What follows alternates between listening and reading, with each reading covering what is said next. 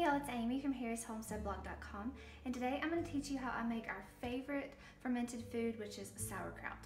Now we eat this almost daily in our home. This is a batch we've been eating on in the fridge right now and I'm going to go ahead and get a new batch started today so we have a fresh one ready to go when we finish this jar. So sauerkraut is simply made from cabbage and salt. It's the easiest fermented food to make in my opinion. You don't have to add any saltwater brine like we typically do. I don't have to heat up an, a pot on the oven. I'm just gonna cut up my cabbage, massage it with the salt and put it in the jar. I'm gonna go ahead and remove these outer leaves just because we don't know exactly where these have been. And I'm also gonna use them later to help hold down my cabbage along with my fermenting weight. I have three heads of cabbage today. I've already removed some of the leaves on this cabbage. So three heads of cabbage, they're about medium sized, is gonna make about a half gallon mason jar of sauerkraut, which is what I had here.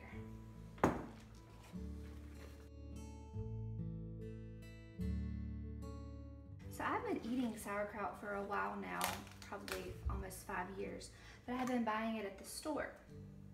And the size jar you get was only about a two cup jar and it was about eight or nine dollars. Whereas each of these heads of cabbage, I think I paid a dollar for each, maybe a dollar fifty.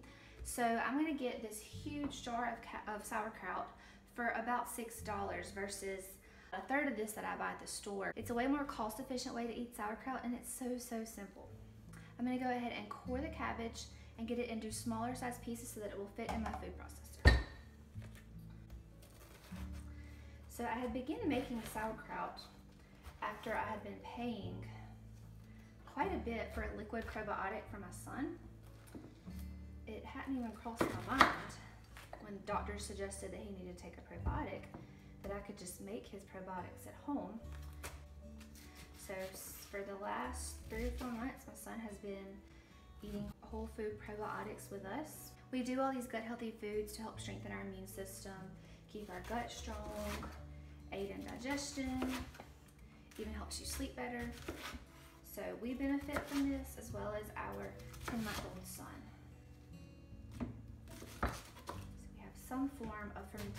Every meal. Sauerkraut is probably the most common one. We put it on everything. Salad, pizza, burgers, meatloaf, put it on tacos, mix in eggs.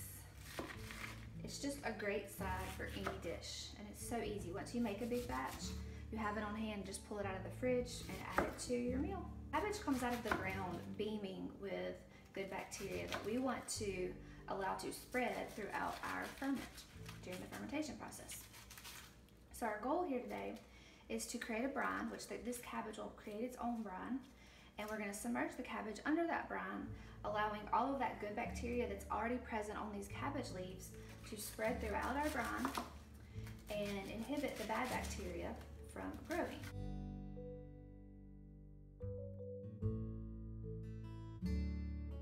Right, so I'm gonna go ahead and begin adding this to my food processor. As I do that and as I get a batch out, I'm going to use the largest pot I have, which is my stock pot. I've also used my Instant Pot liner. You just want a really large pot so that it can hold all your cabbage when you go to massage the salt with your cabbage.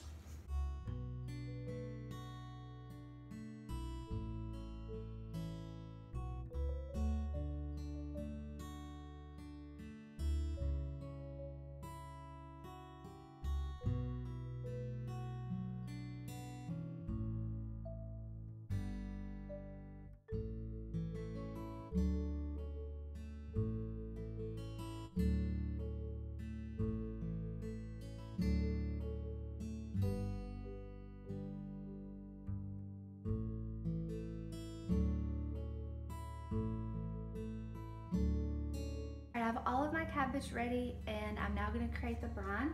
I'm gonna let the cabbage create its own brine. So the way I do that is two and a half tablespoons of salt. That was for three heads of cabbage for about a half gallon. Two and a half tablespoons. And here's where this gets a little messy. I'm just gonna take my hands and begin massaging the salt into the cabbage.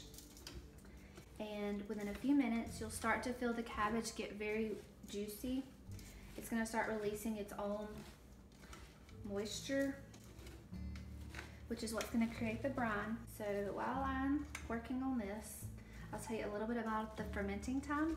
Cabbage is one of the vegetables that you can ferment almost like forever. I've heard of people fermenting cabbage on their counter for up to three months. We typically prefer about a week. Some people only prefer three or four days.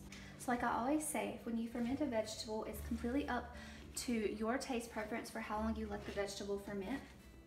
Also the temperature in your home and the season of the year. It is the middle of summer, so it is warmer in our home, so things will ferment a little faster.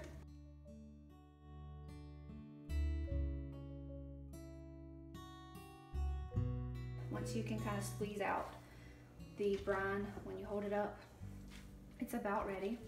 So I'm going to hold over, because this does get messy, I already have a huge mess on my counter now and my floor. So I'm just gonna start stuffing this into the jar, kind of holding over the stock pot so that it, when it falls back, it's at least falling back in the pot and not all over my floor or my countertops. Kind of press that in. As you press it, you're gonna have more brine come up. Sauerkraut requires no saltwater brine. The cabbage will create its own brine. So all I used was the cabbage and salt. You can see as I press down, there's that brine coming up. I said that sauerkraut was the easiest vegetable to ferment, but it's really probably the messiest. So you can see when I press down that brine coming up over my cabbage, that's what we want to happen. So we do want this jar to be pretty tightly packed. And then I'm gonna add my fermenting weight on top. I'm gonna add some cabbage leaves as well as my fermenting weight. It's gonna hold this cabbage down under its brine for the week or so that I fermented on the counter. If you've seen any of my other fermenting videos, you've heard me talk about the bag of rocks. If you do not have fermenting weight, you can simply use a Ziploc bag with a couple of rocks placed inside and that will actually hold down your cabbage. So I have a huge mess on my counter, but I have a nice jar of cabbage ready to ferment into sauerkraut. So I wanna go ahead and point out this jar that we've been eating on has that dull yellow color, and whereas this is that bright green color, so from the cabbage. So you'll notice over the next few days as this ferments, it will start to return to that dull color, and you'll know the fermenting process is working. You don't want any of these pieces of cabbage to be out of the brine, so I'm gonna wipe off any excess so that as it ferments, those pieces don't mold. If that happens, your sauerkraut is not ruined. You can simply pull those pieces away. All that happened is oxygen was able to hit those pieces of cabbage, which caused them to mold. So anything below this brine is not gonna mold because there's no oxygen that can hit it. Add a couple of cabbage leaves to help hold down those that cabbage under the brine. Now you can add as many as you need. If you did not have a full jar, I don't think I'm gonna be able to fit two. Like if for some reason your cabbage only filled you up to here, you could just fill the rest of this with cabbage leaves and then add your weight on top. You just want to get the jar as full as possible so that all of that cabbage stays under your brine, keeping any mold or bacteria from continuing to grow, letting the good bacteria spread. I'm going to top it with a very loose lid. You can use a fermenting lid or a tea towel with a rubber band. I just typically use a mason jar lid and screw it on very loosely to allow any gases to escape. I'm gonna wipe down this casserole dish and leave it out on my countertop for about five to seven days. So we love sauerkraut. It's the universal side dish in our home. We eat it on everything, almost every meal, breakfast, lunch, and dinner.